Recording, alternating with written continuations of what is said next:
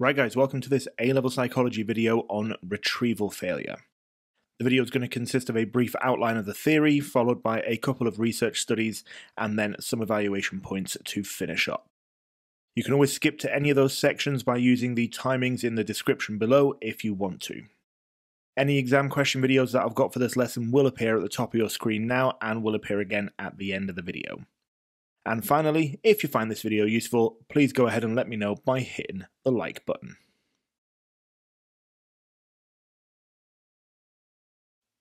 So, retrieval failure is an explanation for forgetting in long term memory. It suggests that people forget things due to the absence of cues. Cues are pieces of information that were present at the time and have been coded with that memory. They can be meaningful or they can be completely irrelevant to the memory in all ways other than they happen to be there when the memory was initially coded. They can also be internal or external, which is something that we'll come back to in a couple of minutes when we look at different types of retrieval failure.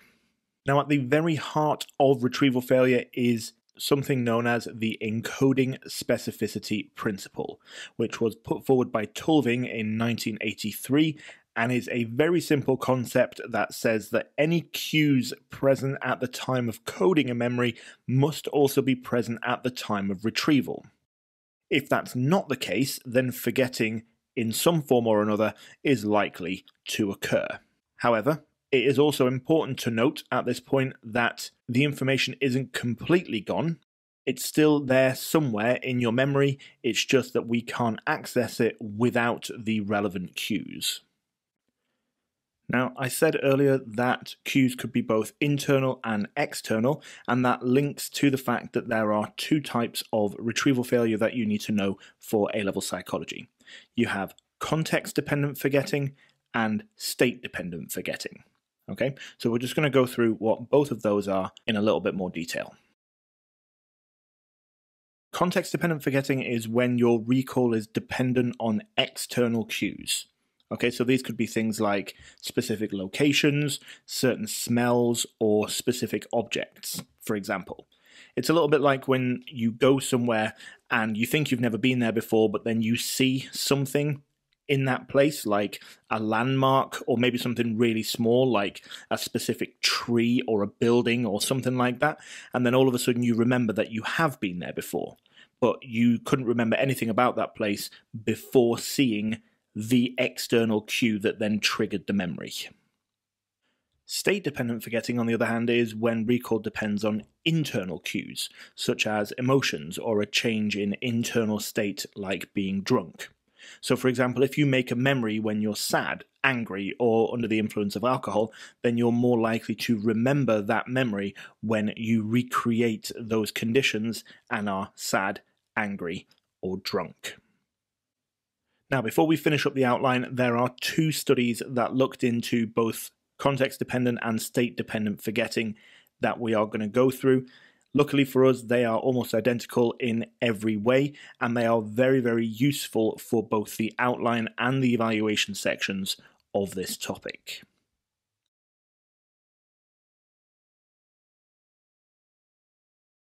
So the first study is by Godden and Baddeley, who looked at context-dependent forgetting.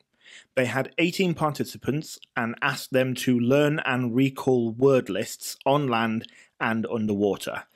They used a repeated measures design, which created the four groups that you can see on the screen now, with each participant taking part in all four conditions over four separate days. Their findings were really simple. When the conditions matched, the recall was the highest, with recall being around 40% lower in the non matching conditions.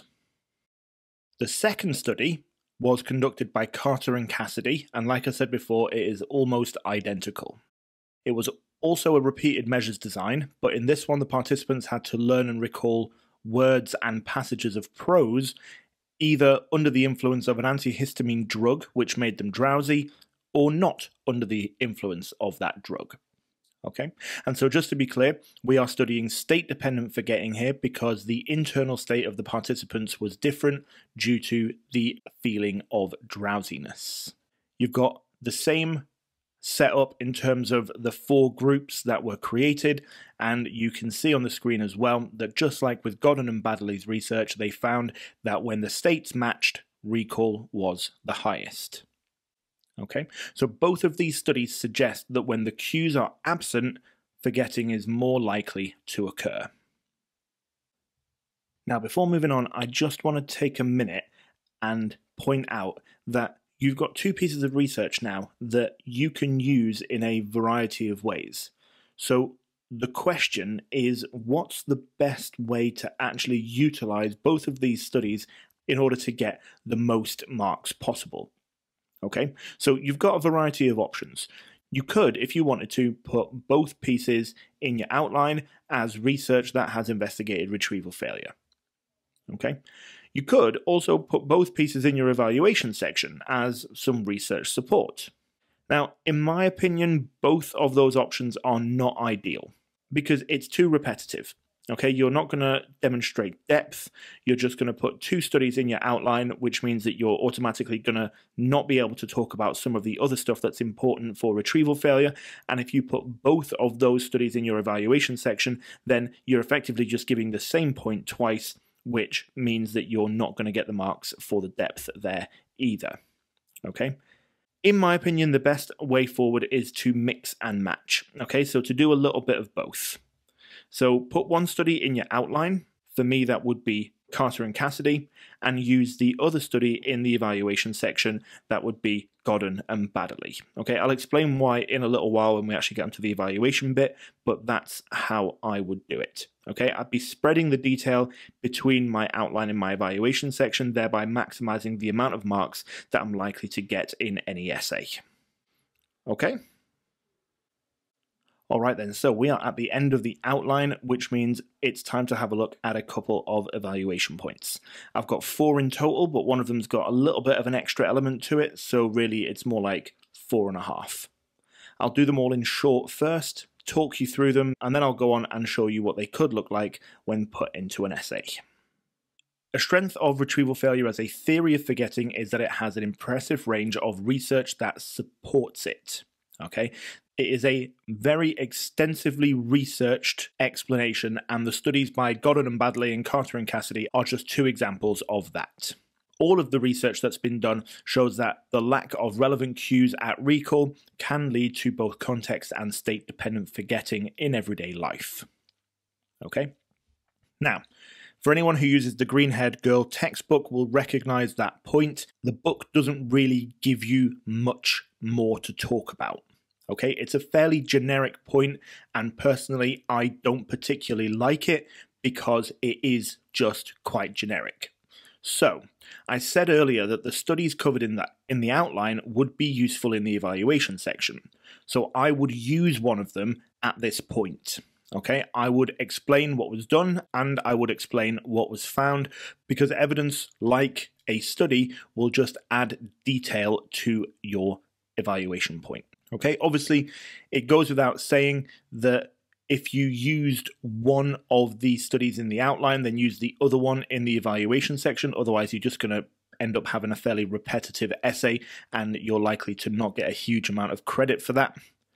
Um, but I would definitely, at that point, follow up that generic information with a study from the outline.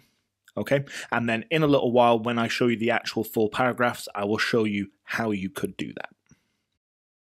Okay, moving on, we have a counterpoint, and that is a limitation that was put forward by Baddeley himself, who argues that context effects are not actually very strong, especially in everyday life. He argued that different contexts have to be very, very, very different indeed before they have any effect on recall, as was the case in his research, where people were learning things on land and recalling them underwater. However, in reality, in everyday life, people are more likely to learn something in one room and recall it in another. Okay, so if you take an exam, for example, then you're more likely to learn something in a classroom and then have to recall it in an exam hall. And that's unlikely to result in too much forgetting because the environments are not going to be that different from one another. Okay, so that means that retrieval failure due to lack of contextual cues might not actually explain very much everyday forgetting. Another limitation is that research suggests that context effects may depend on the type of memory being tested. So Godden and Baddeley repeated their underwater experiment in 1980, but this time asked their participants whether they recognized a word that had been read to them rather than asking them to retrieve the word for themselves. Under those circumstances, there was no context dependent effect at all, Performance was the same across all four conditions for all participants. Therefore, retrieval failure may be a limited explanation for forgetting because it may only apply when a person has to recall information for themselves rather than recognize it. Okay, and then finally, a big strength of research into retrieval failure is its practical applications.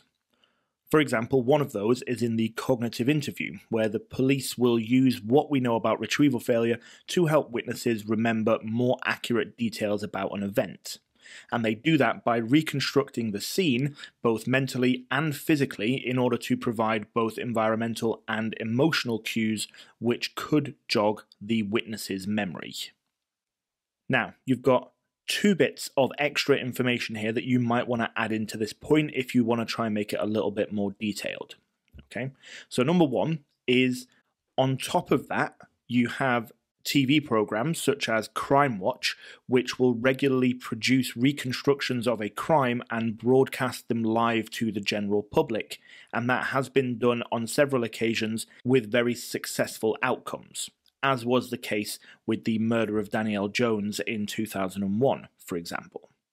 Okay, so you've got an actual application that has been used and has a successful outcome. Okay, so that's an extra bit of detail that you could put in. You've also got another bit of detail, which is that using research into retrieval failure in this way also has a very positive impact on the economy okay? Because increasing witness accuracy means that there's a greater chance of the police prosecuting the right criminal from the outset. And that results in a reduction of wasted money on things like wrongful arrests, questioning, and court hearings, as well as compensation payouts for false convictions, which will ultimately save the criminal justice system money that can be then invested elsewhere.